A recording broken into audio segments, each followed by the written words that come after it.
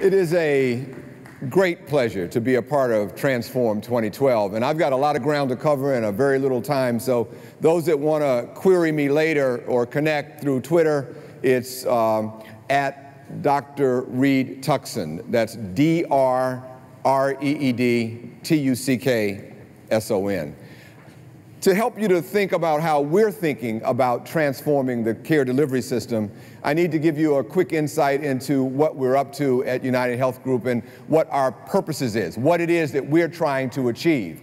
UnitedHealth Group is essentially two companies. One, UnitedHealthcare, the largest health insurer in the industry, whose mission is very simple and straightforward, helping people live healthier lives. And our second company is a company called Optum, who's uh, the largest health services company in the industry.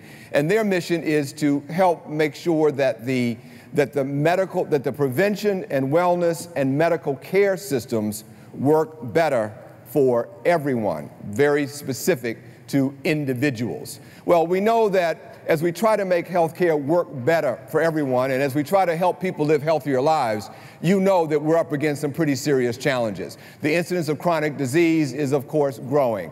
The prevalence of preventable risk factors is overwhelmingly worrisome. And while tobacco may be down a little bit, still 17.3% of the population is still smoking. 400,000 people will die from that this year. You know what's going on in obesity. What you may not know and think about much is the economics of this extraordinary obesity $344 billion. You know uh, how important it is uh, to get at diabetes. But the increase in diabetes, of course, is astounding. And the economics of that are overwhelming. And then finally, as just one last glimpse, the number of couch potatoes in this country continues to grow and expand. We have some real issues and some real challenges. And if we're going to get at that, if we're going to transform, we're going to need solutions that are comprehensive, that are interconnected, and that are end to end solutions.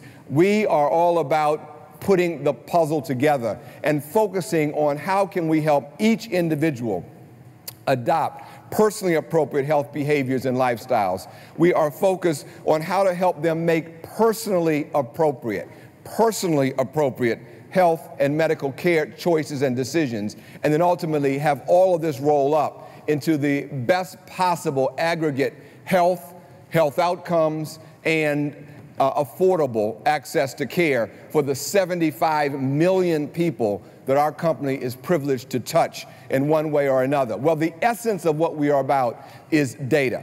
We are very much uh, the company in healthcare that approximates what's going on in other industries outside of healthcare. This is the era of big data.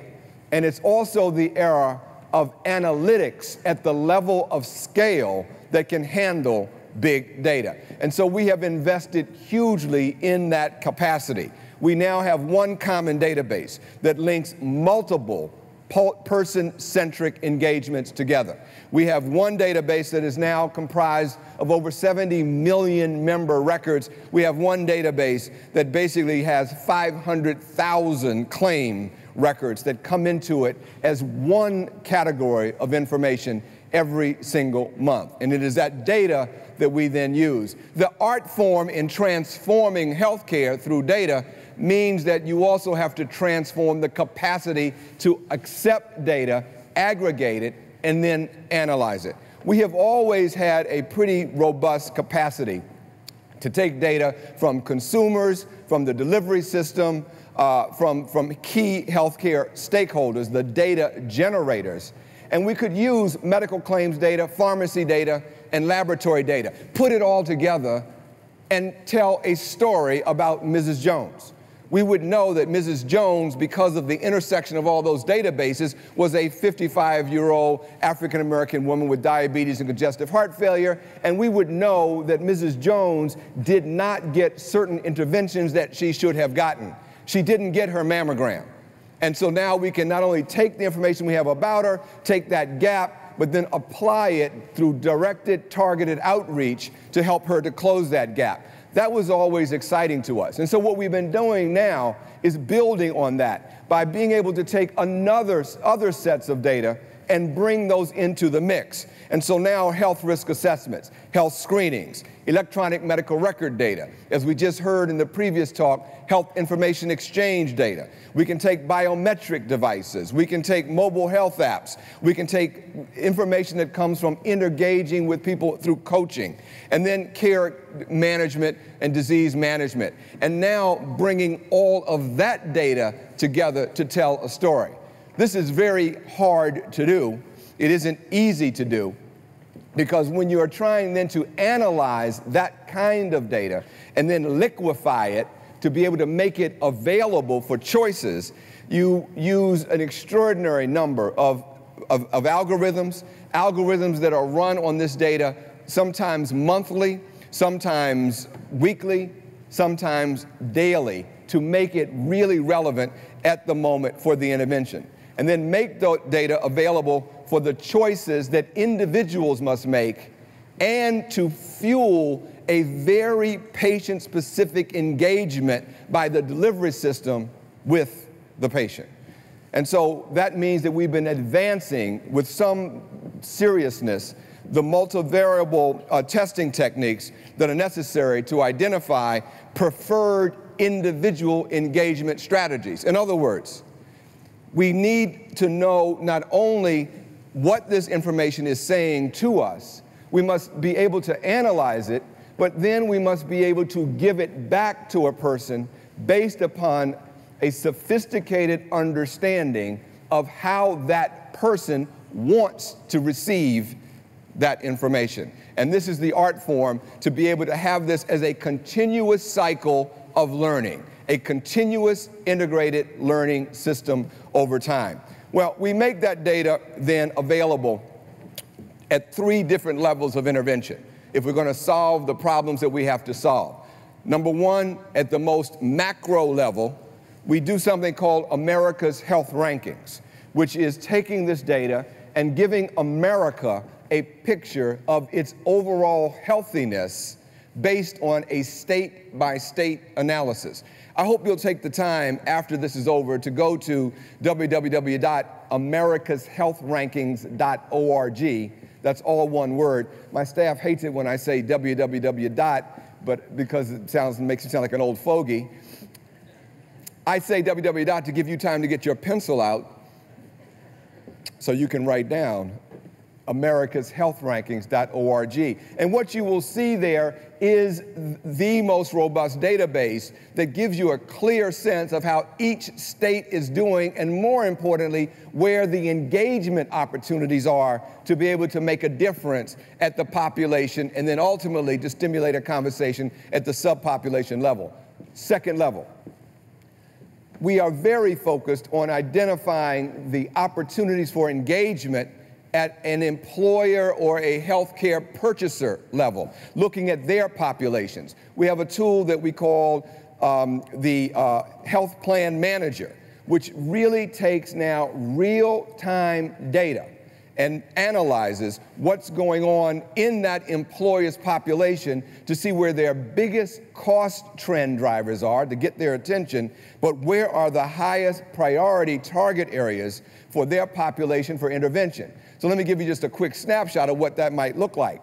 We can ask that company, as of this month, what are the cost trends that you are experiencing? In this company, we see that before uh, today versus uh, in previous years, they are seeing a 4.6% increase in their healthcare trend. Why are they seeing that? Well, we can then do what we call a heat map, a heat map that allows us to see all the conditions that are driving, or the, all the epidemiological conditions that are being experienced by their population, but given the intensity of the color, which ones are the most important? And here it's clear for this company, it's diabetes. All right? Then within that, they have plants in a variety of locations. Which parts of the country specifically is their problem? And here, the issue is in Northeast Wisconsin, a clear differentiator for what's happening for their employee population than someone else. Well, if we go and drill into that area, of those diabetics, are they receiving the right care? And so we can analyze in real time basis and give back to that employer a sense of whether or not they are getting hemoglobin A1C3s done, whether they've got a primary care physician, whether the primary care physicians are doing their job. We can also look and see what subpopulation groups have more problems than others. Is it the empty nesters? Is it the older singles? Is it the young marrieds? Is it the young singles? And so now what a company can do is to be much more laser-like in their approach to high priority targets, using their money and resources cost effectively to get at their highest probability targets. And then we're able to use uh, all of this through what we call Spider-Man um, kinds of analytics, which give us the kinds of pictures that we need to do there. Third level, focusing now directly on this individual. Why is it that people don't make the kinds of choices that they need to make? There are lots of reasons why, of course, very specific to each person. Many people are simply paralyzed by fear and anxiety and need to be reached because of that in that way. Other people are not doing what they need to do because health is just not as important as other things. I've got, my life is too complex. I got to take care of my kids. It's too late for me. It's all fate anyway. Uh, some people don't do the things they need to do because their problems creep up on them gradually. A variety of very personal ways that cause people to not make choices that we wish that they would make and others, by the way, because it's just simply too much information. I, I can't cut through it all. It's just a little bit too complicated. So we've been spending a lot of energy transforming our capacity to understand subcategories of folk. What are the striations, the variations, the categories that kind of give you a sense of what, the ways in which you need to reach out to an individual. Some people are assured actives, for example, others are overwhelmed. Let me give you an example of overwhelmed. Sam, 35 year old cook, struggled with obesity since childhood, currently taking antihypertensive, antidepressants, and analgesics for back pain. He says, I know I'm overweight. I've always been. But I'm, I'm not a joiner. I don't want to be involved with groups. I need interventions that are very personal for me, but I'm not going to be a part of a group. I know I should follow my doctor's advice, but my doctor's advice is complicated. I've never understood, and I'm intimidated by them. Uh, that white coat, I'm afraid to answer, to ask questions of the person, and so I don't really don't understand what I'm supposed to be doing. But I do know that I was supposed to get a stress test, but I put it off because you see me at my table on Sunday. I'm trying to make my budget out and I'm terrified because I don't know how much it's going to cost me, and I don't have one eh, discretionary dime to play around with. And so I'm just going to put it off because I don't understand it. And so we've developed as one intervention of a portfolio of those kind of personal interventions, something called OptumizeMe. OptumizeMe, which is available, uh, by the way, any of you can actually get it as well, whether you have our insurance or not but it is a, uh, a smartphone enabled uh, capacity for Apple or Android. And you can go there, and let's say that you put there and you can say, I want to set my weight goal. And this is what my weight goal will be. And I will customize it to my needs. And then I will make that information available to my crowd-sourced team, to my group, my friends. And I'll make my progress available. I did that with my biking. I rode my 50 miles the other day that I was supposed to do, and my boys wrote back, You suck. Because they did 122. And I had to get back on the bike and ride another, you know, four or five, you know, whatever I could get. That crowdsourced behavior, is very important for motivation. Then you can track what you do, and not only track it, but also upload it to things like Fitbit. So now you're starting to connect some of these kinds of devices together, and now you can track that through those mechanisms. But still, Sam was saying, you know, I did all that, but I'm really not making the progress I needed to make. I need to talk to somebody. And so Sam can talk to a coach. And there's a coach that's waiting and available for Sam. And when Sam calls in to that coach to talk about how he's doing, that coach has on his or her screen every piece of information that we know about Sam. So not only can the coach talk about hey, let's talk about your exercise program, let's talk about your diet, but also the coach knows, Sam, you didn't get your stress test. And so now I'm going to talk to you, Sam, about stress tests, and we're going to help you to overcome that. So that's the kind of capacity that we have to being able to do that. Well, Sam's health plan is one of those that most people are getting these days. It's a plan that are called consumer driven plans that have financial skin in the game. In fact, these are the fastest growing health plans uh, in the industry. There's financial skin in the game. And so, what Sam is now going, if I'm going to get that stress test, I need to know how much it's going to cost me. So now we're able to provide a healthcare cost estimator that can connect him either through his, his computer at home or back to his smartphone again, real time information that gives him a real clear sense of what it's going to cost him to get a stress test where he lives. Real contracted rates in that person's individual market with pre-adjudicated claims data. This is as tight, as close, as close to the moment and timely as you can possibly get. Sam can then say, okay, I understand what the general cost will be, but I'm going to choose now the doctor that I want to go to to get that cardiovascular engagement. And he can go online now and pick the doctor that he wants, a doctor that is indicated by two stars, whether they, they exist or don't exist. The first, quality. How good is that doctor based upon National Specialty Society industry standards for quality in cardiovascular care? He absolutely now knows whether this doc is a quality doc, and then second, a star for cost effectiveness. And now he understands that this physician will at least give him the best chance for a quality and affordable intervention. And in fact, he can plug in that doctor, and then he can plug in the facility that he's going to, see those costs, and then instantly have a calculation that tells him exactly what this will be for him as he sits at the dinner table. So, this is a world now where you have a multitude of interventions. You've got everything from your smartphone, your coach, your social networking. We have all of we have something called UHC TV where we are able to take the teaching and evidence-based ed education information, plug it into uh, to the person's social networking. When they go on their social networks, they can click in. There's a variety, all of these kinds of things. Uh, gaming technologies. Uh, you can do uh, our video, uh, syn synchronous video communication when you're at home and talk to a healthcare professional uh, through that capacity. Um, you see, I've got information there around your genetic predisposition with your genetic code. All of these things are now available for the person.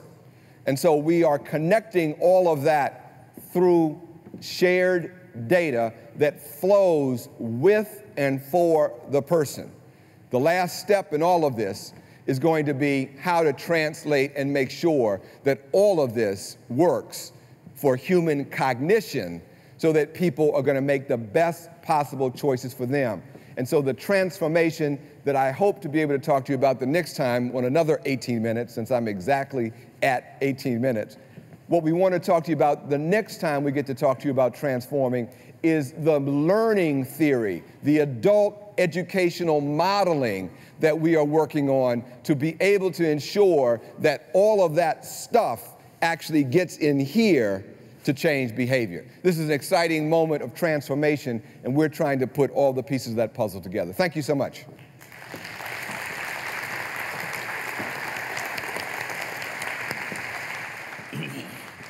Um, let me just play the uh, journalist role here for a moment. Um, in the original sort of uh, construction that you had of how you, you aggregate the data, you had all those strips in there of various sources of data. Should there have been a strip that said patient? So the answer is that there is a strip in there called patient, in that that's the patient's assessment of, of care. It is the patient's assessment, of health risk assessment. It's the patient saying, here are the things that I'm indicating that are important to me. So that's what that health risk assessment block was. Great question, absolutely. It sounded like what you were saying is somehow the data pops out a Mrs. Jones problem that then you want to create an intervention for. Is that sort of the Precisely. Scenario? Right. Now, there's also the maybe somebody should just call Mrs. Jones scenario, right? Right. Uh, how does the system still allow for the possibility of just going directly to the patient and asking simple, straightforward questions about what do you need? Right. So, so the original way that we approached this, as I said, was we could take the, um, the, the medical claims data, the laboratory data, the pharmacy data, and we would know, Mrs. Jones, you didn't get your mammogram. Then what we're able to do is to take that, we call, we first of all send Mrs. Jones a Hallmark card. Mrs. Jones, you didn't get your mammogram, you should get it. We send her a second Hallmark card, you didn't get it. Then somebody picks up the phone, calls Mrs. Jones. I got a letter on my desk right now from Mrs. Jones. Mrs. Jones says, I didn't go when you sent me the card. I didn't go when you sent me the second card. I didn't go until somebody got on the phone and really hollered at me. Bad news is I have breast cancer. Good news, we caught it early and in time. Thanks to God and Nurse Smith, I'm alive today. How much training goes into that third intervention point? The two Hallmark cards get ignored, but then there's that person that has to call, and they probably don't want to be hollering at Mrs. Jones, right. They, they, and, and, you know, dealing with some of the other issues that have been talked, you know, people are inclined to say, hey, I'm fine, leave me alone, or I'm afraid of this person on the other line. How yeah. do you deal with that? So I probably shouldn't have said hollered at her. I was uh, a little dramatic license. The, these are very kindly nurses. Of course. So these are nurses that are doing this work. We have over 2,000 of these people who, who, do this kind of work. But the notion is I was trying to build is we have a pre, we're getting very good at understanding who you are on the other end of the phone. Some people knew, do want you to be in their business. Some people want you to be. Sam is like saying, I'm going to tell you what I'm like and what I don't want and what I do want. So the algorithms that we are getting from these engagements with people is giving us a much more precise way of doing it. But I love your question because the thesis of it is, is the art form of transformation. That we're, you, the one thing we're not doing anymore is, here's our brochure. That, those days are gone. Unless it's a person that says, I only want brochures. If it's my mother, she only wants internet. If it's my son, he's only interested in, in, in, in uh, tweeting or, or in, um, uh, um, you know, just the, the notes. But basically what you're saying is you, you start from the sort of model the, the sort of general kind of societal outcome, reduce obesity, whatever goal that you have, and you track it all the way through to how we get in touch with individuals. Right. And unless it has that outcome at the other end, this data here is valueless. And that's, and that's the excitement. Because see, look, we've been at this a long time. Everybody should worry about diabetes. It's getting to be a big problem. Everybody in Seattle needs to worry about diabetes. It's a big problem. Everybody at the local level needs to worry about diabetes. No, you need to worry about diabetes. And you would like us to tell you this in the following way. And what you ultimately want is you don't want your health to be ghettoized as health. You want it on your phone in the same way that you're going to get your app when you go to the grocery store to see what the prices are. When you put your barcode scanner to see what the prices are or what the nutritional content is. By the way, I would like to basically be reminded that, oh yeah, I do have that problem with hyperglycemia. And so let's work it all in so it's integrated. Now, you know, I love what you're saying, but I, I'm, I'm terrified that this applies mostly the population of people who are wandering around the Apple store right now, and maybe Mrs. Jones doesn't have a smartphone, doesn't have a Wi-Fi connection, doesn't have the sort of digital sophistication that some of these systems that you're creating seem to require. How do you deal with the Good. gaps in the digital engagement in the population. Well, one of the great things, though, is that that gap is, as you are well aware, very narrow and becoming even more narrow. But at the end of the day, if the person wants to be communicated then through internet, if they want to only be communicated through health coaches calling them, if they only want to be engaged by having a book or what we call healthy notes sent to their home, if you want it in your, when you get your claim, your bill, on the bottom of the bill, it says, by the way, we noticed you ordered cholesterol medicine today. Let's talk about hypercholesterolemia. Whatever way you need it or want it, the point of it is, is that the transformation is healthcare has got to get specific and individual. And the more you can make it with personally relevant data that meets their individual needs the way they want it, then you got a much better chance. We are so far eons away from what we used to have. So you've got to operate on the landline platform, the smartphone platform, the Wi-Fi platform, the Twitter platform, and the walking up to the front door and knocking on the front door platform. All of it, but the, the commonality between all of those various dissemination points is having a common database that's robust enough to be relevant to the person in real time and specific to their particular challenges. And as long as you can have a database that connects you through, we're agnostic to the, to the platform. So we don't get all excited about, I showed the mobile app. We like mobile apps. I could have gotten as excited about the gaming technology. I could have gotten, ex- we're agnostic to the way you reach the person. The point is getting to the person. World of Diabetes Craft, next. I like that. Dr. Tuckson, thank you so much. man. Thank you.